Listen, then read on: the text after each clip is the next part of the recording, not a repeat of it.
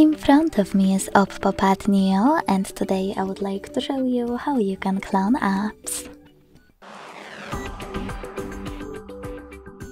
Begin by opening settings and scrolling down to access apps.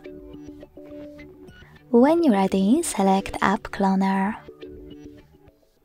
Finally, tap on one of your available apps that you wish to clone and click on gray switcher next to Create App Clone.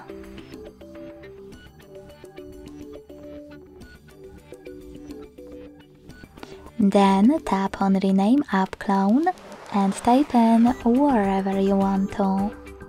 In my case, Facebook too. When you're ready, select Save in the pop-up. After that, click on when using quick functions and apply the best option for you. Always ask or open original app. When you finished, click on home button. So now, when I check my app, I can see that it was successfully cloned. If you wish to get rid of this clone, go back to the same settings and click on No Blue Switcher then confirm your choice in the pop-up.